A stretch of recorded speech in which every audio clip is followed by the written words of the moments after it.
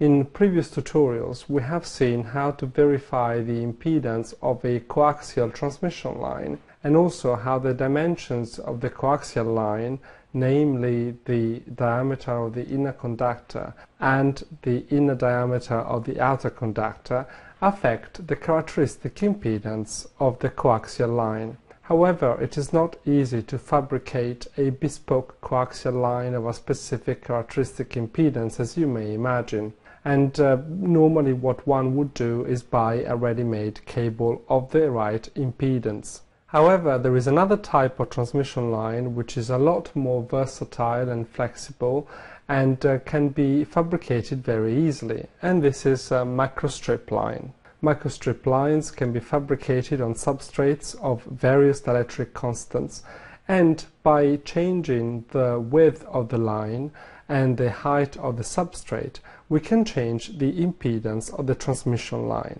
Changing the width of the microstrip line is equivalent to changing the diameter of the inner conductor for a coaxial line, and changing the height of the substrate is equivalent to changing the inner diameter of the outer conductor for a coaxial line. There are empirical equations which are shown in the manual which one can use to design a microstrip line. However, Microwave Office offers us a much nicer tool than just empirical formulae to be able to design a microstrip line and various types of lines with the characteristics that we desire. To open it, we just go to Tools and then select TX Line. A new window pop up and the first thing that we need to do is change the material parameters we can uh, choose a specific dielectric uh, from a pull down menu here and when we do this then you'll see that the dielectric constant is changed automatically and so are other parameters like the loss tangent. However, what we will do in our case is to just insert the various parameters of our substrate manually and then we will use this app to determine the dimensions of the line that we're interested in. First of all, we need to pick a substrate. And as a substrate, we'll choose a very common yet not a particularly good one, which is called FR4. This type of material is very cheap and very widely used. However, it's quite lossy and its dielectric constant varies with frequency over quite a range. Now we will be using a frequency of 1 GHz in this tutorial and we know that roughly at 1 GHz most FR4 substrates have a dielectric constant of 4.5. The loss tangent is a parameter that tells us how lossy our dielectric material is, so how much power is dissipated within the dielectric itself. We want this value to be as low as possible. In the case of FR4, it is around 0.02, which is not fantastic, as we will see in a little bit. In terms of the type of conductor, we can choose copper, and then we have to look at the electrical characteristics of the line. The impedance that we want to achieve is 50 ohms. This is standard, and this is what most of the time we need to design for. Then there is of course the frequency of operation, and this is important uh, because we will need to verify that the transmission line that we've designed is uh, indeed 50 ohms. And if you remember, the, we can do that by choosing a line with an electrical length of an eighth of a wavelength. And the wavelength is directly related to frequency. So we need to understand which frequency we are doing our test at and set our parameters accordingly.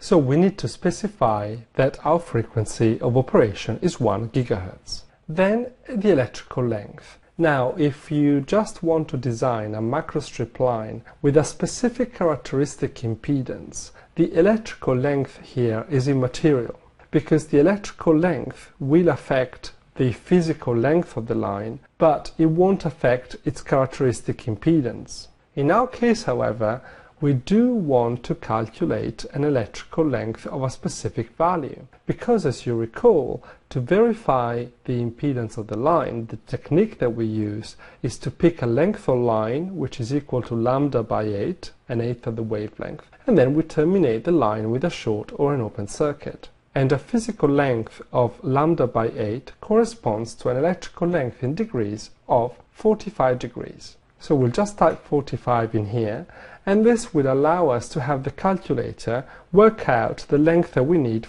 Now uh, we need to select another couple of parameters in the physical characteristic pane. Well, uh, the thickness of the metal doesn't really matter a great deal. You'll see that if you change this to various values, it doesn't affect the width of the line a great deal. The height of the substrate will pick to be 1.6 millimeters, which yet again is standard. Now, if we click on the right pointing arrow, the simulator will give us a width for our transmission line, which is the width we need to achieve a 50 ohm impedance, and a length which is the length that we need to achieve an electrical length of 45 degrees, which corresponds to a physical length of an eighth of a wavelength. So if we just click on the arrow, the calculation is performed for us, and we can see that we are getting a width for our transmission line of about 3 millimeters and a physical length of about 20.3 millimeters. Now, there are a couple of things that we need to point out. First of all, Notice in the electrical characteristic how the simulator has calculated another couple of parameters for us here. First of all, the effective dielectric constant. Remember that although the uh, dielectric constant of our material is 4.5, our electromagnetic field is not entirely contained within the dielectric. Part of it is in air and part of it is in the dielectric.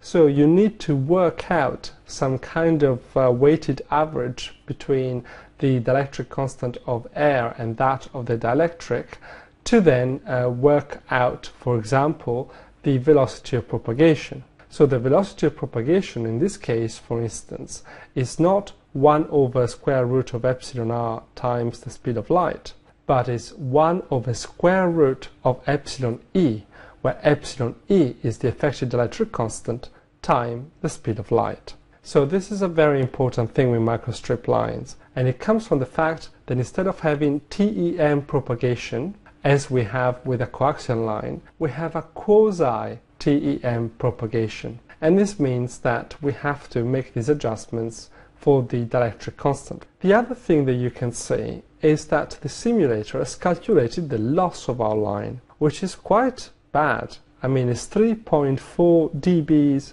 per meter. So for every meter of track, you're losing 3.4 dBs in power. And that's quite a lot. And it's directly proportional to the loss tangent parameter that we put in. In fact, if I change the loss tangent parameter now, for example to 0.01, and then click on the arrow yet again, you can see that the loss of our line is greatly decreased and is around 0.5 dBs per meter. Of course we can pick materials which have a much lower loss tangent, but they obviously tend to be more expensive. So let's put our loss tangent back to what it was and uh, click on the arrow again to make sure we get the correct values. Now we've got all the parameters that we need, but we can't just transfer this onto a schematic in an automatic fashion. We have to remember the dimensions and then put them in ourselves, but that's not a big deal. The last thing that I want to point out before I close this TX line application is that there are a number of other types of lines that we can design with it a strip line, for instance, and this is very useful when you have a multi-layer PCB, a coplanar waveguide, which allows you to not have a ground plane at all, since you have the signal line in the middle and then you've got the ground planes at the sides of it. And then you can even design a round coaxial line. So you can put the uh, parameters in there, like the dielectric constant and impedance you want, and then you get the inner diameter and the outer diameter which is what you need to determine a specific characteristic impedance. So we have to remember some of the parameters here. The dielectric constant is 4.5, the height of the substrate is 1.6 millimeters, the loss tangent is 0.02, the width of the line is roughly 3 millimeters, and the physical length to achieve a line which has an eighth of a wavelength long is 20.3 millimeters. So let's close the X line and then go on to circuit schematics, right click, open a new schematic, we'll call it microstrip on FR4, and then we need to get ourselves a microstrip line. We do that by pressing Ctrl L, and yet again we can search by description or by name. Uh, we can, for example, search by description and type in microstrip line, and you can see that at the very top we get something called mlin and this is just what we're looking for. So we just double click on that and place it on the schematic like so. Now we said that the width that we calculated was about 3 millimeters and that the length was about 20.3 millimeters now you may be wondering well where are all the other parameters the dielectric constant height of the substrate well we need to add an additional element to our schematic in order to specify those. And this element is called M sub, which is the substrate. So I press Ctrl L, I will do a Control click on the name heading because I know that the name of the element I'm looking for is M sub, which is a microstrip substrate definition. We double click on that and place it on the schematic like so. This M sub substrate will be automatically connected to all the microstrip lines in the schematic. So basically, instead of having to specify the parameters for every single microstrip line that we put in, and there may be very many in some schematics, we just put all the information in one element, and this will be automatically associated by the simulator with each microstrip line. So it's very useful. Now, in terms of the dielectric constant, we can put 4.5 don't get confused, this parameter is not the effective dielectric constant. It is the nominal dielectric constant of the substrate. The simulator will calculate the effective dielectric constant by itself. Then the height of the substrate we said is 1.6 millimeters. The uh, thickness of the metal we used 10 micrometers. We'll leave the resistivity to what it is and we'll set the loss tangent to 0.02 So we've pretty much set everything that we needed to set. All that's left to do is to terminate our transmission line with a short circuit, which is just a ground connection. So we press Ctrl G and put a ground connection here to create a short circuit to ground, and then we'll press Ctrl P to insert a measurement port and be able to see the magnitude of the impedance as seen at port 1 of this line. Remember that because we've set the length of the line to an eighth of the wavelength and we've short-circuited the line, then the magnitude of the impedance as seen by port 1 will represent the characteristic impedance of the line. Now, before we do anything else, let's go to project options and set the frequency to the correct value. We have to set the frequency to 1 GHz because we calculated our electrical length based on that very frequency. And hence, unless we do this, things won't work. Click on Apply and OK. Then we go to Graphs, open a new graph, and we'll call it Microstrip Z0. It'll be a rectangular graph, and then we just right-click on the graph, go on to add a new measurement. We'll choose again to see the impedance Z at port 1 coming from the Microstrip on FR4 schematic. Of course, we will just be looking at the magnitude of this impedance. Click on Apply and then OK. Then Simulate. You can see that the impedance value is very, very close to 50 ohms. We've got about 49.99. In fact, we could change the scale of the graph slightly to make this even more obvious. And we can do this by right-clicking on the graph, going on to Properties, and then on the left axis deselect auto limits and say that we start from 40 ohms and end at 60 ohms. Click on apply and then OK. And you can see how we are pretty much bang on on 50 ohms. And this goes to show just how accurate the TX line application is. Now, much in the same way as we did for our coaxial line, we may want to see how the characteristic impedance of a microstrip line varies according to its main dimensions, the width of the signal line and the height of the substrate. Remember that the width of the signal line corresponds to the diameter of the inner conductor for a coaxial line and the height of the substrate corresponds to the inner diameter of the outer conductor for the coaxial line. Because we don't want to mess with our current schematic, what we can do is duplicate it and we can just click on it and drag it onto the circuit schematic heading and then we can just rename it and uh, we'll call it uh, microstrip sweep W because we are going to start with sweeping the width of the line. And then, as we did before, we can use a swept variable so as to create a range of values for the width of our transmission line and we can see how the characteristic impedance varies as we vary the width of the line. So, as we did before, to create a swept variable, we first have to create a normal variable and we can declare a normal variable by just clicking on the equation button up in the toolbar here and we'll give it a name, we'll call it ws and assign an initial value to it, which is arbitrary. So we'll just say ws equals 1, for instance. And then we need to get ourselves a swept variable control, and we do that by pressing Ctrl L, typing in swp, and you can see that we already get the swept variable control there. And we place it on the schematic like so. The variable name would be the one we've just declared and initialized, that's ws. And then in terms of values, we can use a similar syntax to what we used before, and we'll just uh, type in stepped, and we'll set the initial value to 1, the final value to 10, and the step to 0.1 millimeters. Now, what's left to do is just to assign the variable ws to the width of the line. So instead of the 3 millimeters that we had, we just type in WS. We leave all the other parameters of the substrate unchanged, so we will see the effect of the width alone on the characteristic impedance of the line.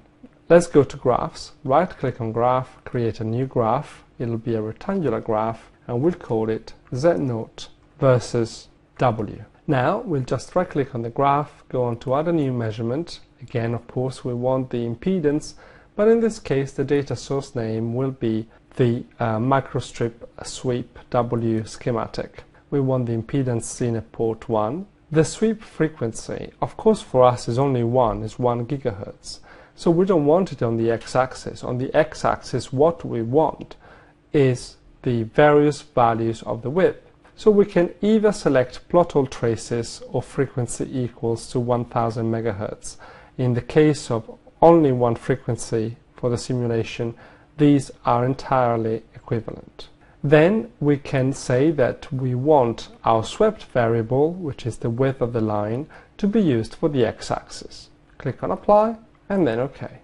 Then simulate. You can see how the impedance decreases as we increase the width of the line. This is entirely analogous to what we had for the coaxial line. Increasing the width of the signal track means that you can have more current going through and hence the impedance being voltage over current, increasing the current decreases the impedance. For the coaxial line, when we increase the diameter of the inner conductor, we had exactly the same behavior for the characteristic impedance of the line. Also, we can see that for our line of about 3 millimeters in width, our characteristic impedance is 50 ohms, which is just what we would expect. Now let's go back to our schematics and create another copy that will allow us to sweep the height of the substrate. So because we've got a swept variable already in the schematic which we used to sweep the width, we'll just duplicate that one this time by dragging it onto the circuit schematic heading and then right clicking on it and renaming it. We'll call it sweep H. And then, of course, to avoid confusion, let's change the name of our swept variable to hs, indicating that now we are sweeping the height of the substrate. We'll obviously have to change this in the swept variable control as well. And of course, we'll need to select a suitable range of values, which will be different to what we used before for the width of the line. So in this case, we will start with a height for the substrate of 0.5 millimeters and then we will have a uh, final value of 3 millimeters and we'll use a step of 0.05 millimeters. Now, of course, we'll have to assign the swept variable to the height of the substrate, which is defined in the M sub element. So we need to then type HS here instead of a specific number. Of course, we also need to set the width of the line to what it used to be, which was 3 millimeters. And this way we can see the effect of the height of the substrate alone on the characteristic impedance of the line. So now what we can do is duplicate the graph that we had for Z0 versus W by just dragging the graph onto the graph's heading. And then of course we will rename this graph accordingly and we'll call it Z0 versus H. Then we can right click on the graph and go on to modify measurement and uh, we'll select the data source name to be microstrip sweep H schematic because of course this is the one where we want our data to come from. Again, in this case the swept frequency is correct. We're just selecting 1000 megahertz or 1 gigahertz and also the swept variable control is assigned to the x-axis which is what we want. So click on OK and then simulate.